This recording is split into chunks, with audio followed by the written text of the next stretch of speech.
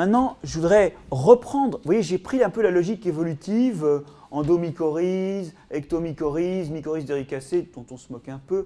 Maintenant, je vais reprendre la logique évolutive, parce que vous avez vu qu'il y a encore, en gros, du côté, enfin, il y a une invention de l'endomycorhize, alors qu'il y a plein d'inventions de l'ectomycorhize. Qu'est-ce qui se passe? Alors, euh, l'aspect évolutif de cette histoire est vraiment important, parce que vous allez, voir qu'en réalité, il n'y a pas de plantes sans champignons depuis le début. Et euh, je vous emmène en Écosse, à Rini. Vous voyez, c'est l'Écosse, hein. il a plu, regardez la route, et il va pleuvoir, regardez le ciel. Euh, Rini, il y a, bon, il n'y a même pas de bar pour s'abriter de la pluie, il y a une distillerie pas loin, on n'est pas très loin d'Aberdeen, pas très loin de la Speyside, pour parler de whisky. Euh. Et en fait, ce qui est intéressant sur cette image, c'est ce que je regarde. Et je regarde ça. Et ça, c'est une des merveilles qui nous a été donnée en, paléontologie de pouvoir étudier. C'est un ancien volcan, mais très ancien même. Il a 400 millions d'années. Alors normalement, il devrait être tout rasé par l'érosion, mais il se trouve que récemment, il s'est retrouvé un tout petit peu remonté. Mais un tout petit peu remonté, et il s'était jamais enfoncé profondément. Et sur les flancs de ce volcan, il y a 400 millions d'années, il y avait des espèces de solfatars, vous savez, ces espèces d'eau thermale très chaudes qui sortent. Et en se refroidissant, elles déposent leurs sels minéraux.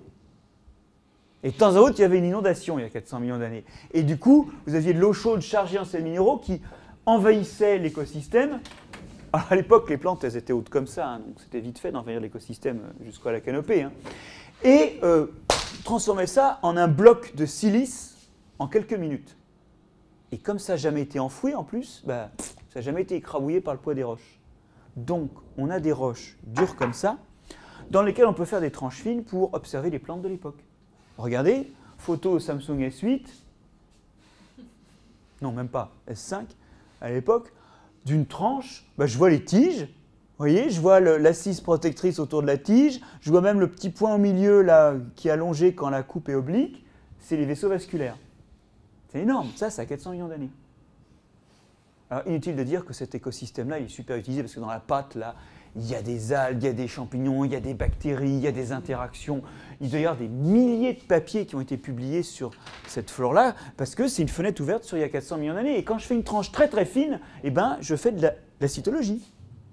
C'est un truc de ouf. Hein. Regardez, je vois très bien. Euh, alors, voilà la plante reconstituée. Vous voyez qu'elle a des rhizomes prostrés et des axes dressés. Elle est verte, elle n'a pas de feuilles, ça n'existe pas encore à l'époque. Et au bout des axes, elle fait des spores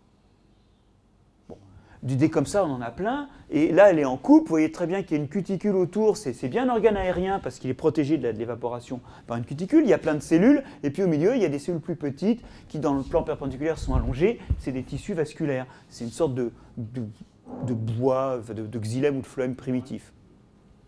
D'accord? Alors, euh, ce qui est marrant, c'est qu'il n'y a pas de racines. Enfin, c'est marrant. Vous voyez, c'est juste des, rhizomes prostrés ou dressés.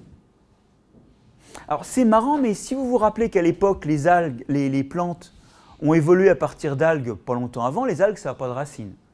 Donc le fait qu'il n'y ait pas de racines sur cette plante, c'est normal parce que ça dérive d'une algue qui n'a pas de racines. C'est bizarre parce que la bouffe est dans le sol quand même. Hein. Or, depuis tout à l'heure, il y a un truc qui vous crève les yeux, je pense. Il y a encore autre chose sur cette image, sur cette coupe. Regardez, il y a cette zone noire là, qui est tout le temps présente, tout le temps, tout le temps, tout le temps. Oui Enfin, en tout cas, on la voit bien. Qu'est-ce qu'il y a dans cette zone noire? Ben, Quand on s'approche, on a des filaments renflés en vésicules qui parfois rentrent dans les cellules pour se ramifier. D'accord, l'image n'est pas belle, mais quand on aura vu nos, coupes, nos, colorations actuelles, la plupart du temps, un arbuscule, ça ressemble à ça. Il y a des champignons à arbuscules et à vésicules. Et comme eux, ils sont dans le sol par ailleurs, ben, très probablement, ce machin-là était déjà nourri par il y a 400 millions d'années. Et alors, je peux même aller plus loin. Cette cellule a une paroi très mince, vous voyez. Si elle n'était pas gonflée d'eau, elle serait poussée, écrabouillée par les voisines. Le fait qu'elle soit gonflée montre qu'elle est turgescente, techniquement. C'est-à-dire qu'elle est gonflée d'eau, c'est-à-dire qu'elle est vivante. Mais ça, c'est très important, parce que ça veut dire que ça, c'est pas un machin qui est, en train de tuer qui a tué la cellule ou qui est en train de bouffer une cellule morte. C'est dans une cellule vivante. C'est fort, hein 400 millions d'années et euh, c'est comme aujourd'hui. Euh, alors, vous allez me dire, ah ouais, tiens, c'est bien, puis c'est bien qu'on ait fait des nouveaux travaux. Kidston et Lang, 1919, la publication, d'accord? Donc c'est surtout un truc qu'on ne nous a pas dit. 1919, cette image. Mais à l'époque, il n'interprétait pas de la même façon. Ben si. Parce qu'il faisait partie d'un réseau de geeks qui, avait, qui croyait vraiment que cette interaction, avait un rôle nutritif. Cela dit, cette remarque a ceci d'exact qu'à l'époque, l'opinion générale, c'est que ça sert à rien. Et vais vous citer un passage d'un ouvrage, je vais le citer de mémoire, euh, je crois que je l'ai cité en vrai, mais je, doute d'arriver à le retrouver là comme ça. Euh, je vais vous citer un passage d'un ouvrage qui a été un peu le livre euh, universitaire sur les interactions parasitaires et les interactions en général, qui est le bouquin de Raoul Collery. Raoul Collery. Il s'appelle Les parasites et les symbiotes. Et entre les années 20 et les années 50, ça a été le livre de chevet. À l'époque, le renouvellement des livres universitaires n'était pas si fort. Hein. Ça a été un peu le, livre de chevet des, des universitaires pour tout ce qui était interaction entre les êtres vivants. Et il dit Le rôle des mycorhizes n'apparaît pas comme une symbiose aussi précise que l'indique Franck. Franck, c'est le type qu'ils a découvert en 1885. Le champignon paraît être un parasite peu nocif et toléré. En français dans le texte, puisque c'est un. Voilà. Donc, euh, Kingston et Lang, c'est des Anglais et ils sont pro en fait, avant les années 50, euh, la plupart des scientifiques en fait, pensent que le champignon sert à rien, voire que c'est un méchant, pas trop méchant. Donc, c'est pas vrai pour Kidston et Lang, mais c'est vrai pour toute la communauté universitaire. Et au fait, ça explique que dans nos études, on ne sait pas parler de ça. Parce que vous savez que l'enseignement a toujours 30 ans de retard sur l'avancée des connaissances. Moi, je fais partie des gens qui se battent pour que le flux soit continu, mais sans argent pour faire de la formation continue au ministère de l'Éducation, c'est à peine possible. OK Et, euh, Mais en, réalité, euh, nous, bah, on est une génération perdue, parce que pendant que les scientifiques commençaient à comprendre ce que ça faisait, nous, on continuait à avoir le pôle absorbant. C'est fini ça? On va en reparler après du pôle absorbant. C'est pas fini pour toutes les plantes. On en parle aussi. Vous verrez que ça existe le pôle absorbant. Déjà, ça existe comme point d'entrée pour les champignons endomycorhiziens. Et euh, ça existe aussi, ah, allez, autant le dire, ça existe chez les plantes non mycorhizées. Bon, ça fait 5% des plantes, mais ça existe. C'est comme ça qu'elles mangent. Et c'est sur elles qu'on l'a étudié. Et deuxièmement, ça existe à la germination, parce qu'au début, tant qu'il n'y a pas de champignons, il bah, faut se démerder. Et vous avez remarqué comment ça se passe au lycée, qu'est-ce qu'on fait? On fait germer une graine de haricot, on vous fait regermer, refaire des racines à un oignon. Voilà, il y a les pôles absorbants, oui. Tant qu'il n'y a pas le champignon. C'est un peu là la survie pour la plupart des plantes, le poil absorbant, sauf pour celles qui en font leur industrie, j'y reviendrai tout à l'heure, qui ne sont pas mycorhizées. Donc le poil absorbant existe. Mais on parle toujours un peu du poil absorbant dans les programmes, rassurez-vous. Hein. Mais on l'a remis à sa place, 5%. Alors, euh, juste un petit mot pour vous rappeler quand même que euh, cette, interaction, euh, elle fait intervenir des messages. Et vous allez voir pourquoi je vous en parle maintenant des messages qui sont à la fois des molécules émises par le champignon et par la racine. Euh, bon, bah en fait, euh, vous avez un dialogue. Comment s'opère ce dialogue? Parmi les sécrétions de la racine, il y a des substances émises qu'on appelle les strigolactones. Et ce pas les seules, mais parmi toutes les molécules qui sont émises par la racine, ce sont celles que représente bien, que reconnaît bien le champignon. Alors dans strigolactone, il y a striga. Je ne sais pas si vous connaissez le striga. Le striga, c'est une plante parasite qui germe dans le sol et la première chose qu'elle fait en germant, c'est d'émettre un suçoir pour aller se coller sur la racine de quelqu'un d'autre. Et puis ensuite, bah, elle fait une partie aérienne où elle fait un peu de photosynthèse. Vous voyez qu'elle est un peu verte. Mais elle suce surtout la sève euh, des racines. Euh, le striga est de la même famille, de la famille de l'orobanche que vous connaissez peut-être, qui est une plante, alors elle, complètement non chlorophyllienne et qui suce la sève des racines des plantes autour. Et en fait, ces plantes, de la famille du striga et de l'orobanche, ces plantes repèrent les racines en remontant vers la source de strigolactone. Quand je faisais mes études, je me disais, mais putain, pourquoi les racines sont connes à ce point d'émettre un signal qui les dénonce à leurs parasites? Eh bien, elles n'ont pas le choix. Parce que ce truc-là utilise la communication avec les champignons mycorhiziens. C'est marrant, hein? Et ça a été d'abord découvert comme par hasard, comme un truc lié au parasitisme, alors que universellement, c'est avant tout un truc lié à une symbiose, mais qui a été étudié tardivement et prise comme telle tardivement. Bref, la plante se dénonce aux champignons qui, en réponse, émet un signal. Un signal, lequel? Eh ben, Un signal qui s'appelle un facteur MIC, qui est un petit bout de chitine avec un acide gras dessus. Voilà, c'est comme ça, c'est ce qui se met à fabriquer quand il a reçu le message de présence de la racine, et ça, c'est perçu par la racine. Alors pour ceux qui connaissent les facteurs nodes, qui sont les molécules qui émettent les rhizobiums pour dire à la plante j'arrive, chez les légumineuses, c'est les mêmes. En fait, les rhizobiums ont copié les champignons mycorhiziens. Et la nodulation, la, la discussion dans la nodulation est une espèce de pâle copie d'une discussion qui avait été inventée bien avant entre les premières plantes terrestres et les champignons. Alors évidemment, sans faire complexe, il y a tout un tas de gènes requis pour que, qui sont parfois d'ailleurs les mêmes que pour les facteurs de nodulation, pour que la plante puisse percevoir les facteurs MIC. Et en fait, ces gènes-là, on sait aujourd'hui qu'ils sont présents dans toutes les plantes. Ce qui veut dire que probablement leurs ancêtres les avaient. La capacité à discuter avec les glomérulicètes, c'est un trait ancestral. Et la carcasse génétique qui permet en fait la reconnaissance, comme on disait tout à l'heure, c'est une reconnaissance. Cette carcasse génétique, elle est présente dans toutes les plantes, et en fait, parce que sans doute, l'ancêtre commun de toutes les plantes l'avait. Et d'ailleurs, comme cet ancêtre commun ne devait pas avoir de racines, eh ben, il n'aurait pas pu être un ancêtre, il n'aurait pas survécu s'il n'avait pas eu les champignons. Donc, vous voyez que l'endomycorhize qui intéresse les écosystèmes agricoles, elle est vieille comme le monde. En d'autres termes, c'est l'association avec laquelle les plantes ont vécu pendant 400 millions d'années. Et, là, je prépare un problème dont je vais vous parler juste après, qui est qu'effectivement, maintenant, on a une logique qui ne prend pas ça en compte, à cause de conceptions comme celle de Raoul Collery. Et on ne peut pas dire à Raoul Collery que c'est un gros con, parce que, vu les données qu'il avait, il faisait la conclusion sans doute la plus sérieuse. Ouais? Donc on n'est pas en train de faire le procès de Raoul Collery, on dit juste que maintenant, si on continue comme ça, là, il y a des gens qu'il faudra pendre euh, haut et court. Mais euh, quand Raoul Collery conclut, il, a tout un tas de, données, d'absence de données et tout, et au regard de ça, il fait une conclusion qui est décente. C'est important parce que nous, dans nos conclusions, il y en a qui sont sans doute aussi pourries que celles de Raoul Collery, d'accord? Et qui, seront pourries à l'aune d'évolution des connaissances. Il faut être plein d'humilité face à ça. Tout ce que j'annonce depuis tout à l'heure hein, de façon tonitruante, ça se trouve, ce sera corrigé à l'encre rouge dans 10 ans. Pardon.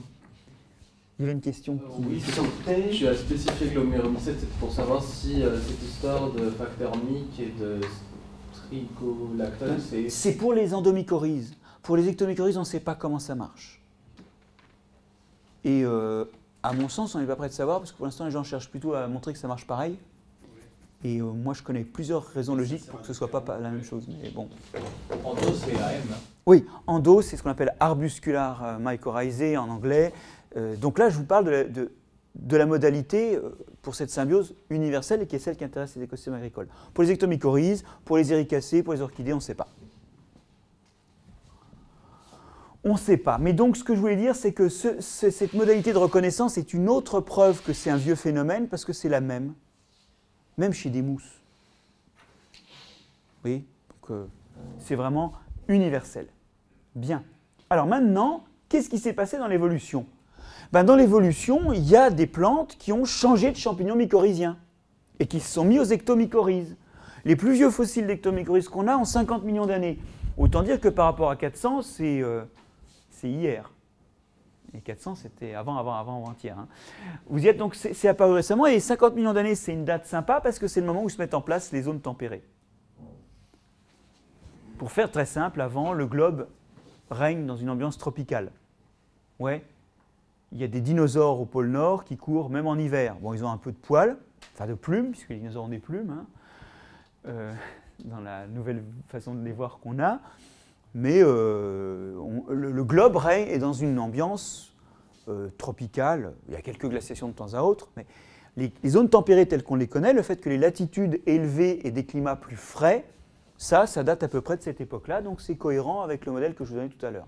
Et donc, face à ces milieux où il ne suffit pas d'absorber les sels minéraux, mais il faut aller au-devant d'eux sous forme précipitée, sous forme minérale, on voit apparaître les ectomycorhizes, c'est une retouche tardive. Et puis, il y a aussi les plantes qui, alors non, c'est pas vous qu'il faut que je regarde, c'est pas toi qu'il faut que je regarde, mais c'est toi. Euh, il y a celles qui se débarrassent de l'association mycorhizienne. Alors, venons au cœur de ce problème. Il y a alors 5 à 10% peut-être qu'en disant 5% tout à l'heure, j'étais ambitieux, 10% c'est quand même violent. hein. Euh, il y a un pourcentage non négligeable de plantes qui ne sont pas mycorhizées. Alors, dont les brassicacées. Il y a quelques tlaspies qui sont colonisées, mais il y a le débat fait rage pour savoir si c'est en passant ou pour vraiment interagir. Oui, dans le genre tlas- tlaspie, microtlaspie, il y a des exceptions. Et euh, il y a des familles voisines dans les caricales qui ne sont pas mycorhizées. Je, notamment, alors oui, vous ne savez peut-être pas que euh, les brassicacées, donc famille du chou, famille du radis, famille du navet, euh, le- quelle est la famille la plus proche que l'on connaît généralement, qui est tropicale? Non, ça c'est une rubiacée. Non, c'est le papayer. La famille du papaye, les caricacées. Et les caricacées, d'ailleurs, euh, quand on mord les graines de. Il y a des graines, des fois, quand ce n'est pas des, fruits parthénocarpiques, il y a des graines dans la papaye. Ben, mordez-les, vous verrez, ça a le goût de moutarde. C'est les mêmes composés, c'est un groupe frère. Et euh, je crois que les caricacées ne sont pas mycorhizées non plus. Donc il y a plus que les brassicacées, il y a aussi des familles voisines, mais qui ne sont pas chez nous. Euh, il y a un autre groupe important qui n'est pas mycorhizé, c'est les protéacées. Vous connaissez peut-être ces arbres qui sont plantés des fois en ornement. hein. C'est un truc australien. Bon. Quel. Oui. Non? Anacardiacée, famille de la mangue. Et du poivre rouge. Rose. Non, non. euh, et ça, c'est endomycorhizé à fond. Non, euh, le- alors le truc, c'est qu'il y a quelques familles comme ça. On va dire qu'il y a une bonne vingtaine d'apparitions de l'état non mycorhizé et qui nous représentent une partie de la diversité. Euh, dans les groupes non mycorhizés, il y en a un autre où. Alors, c'est variable. Euh, il y a des endomycorhizés, des ectomycorhizés comme le résinier bord de mer, et des pas mycorhizés, c'est les polygonacées. Donc la famille de la quinoa. Mais vous voyez, la quinoa est endomycorhizée, par exemple.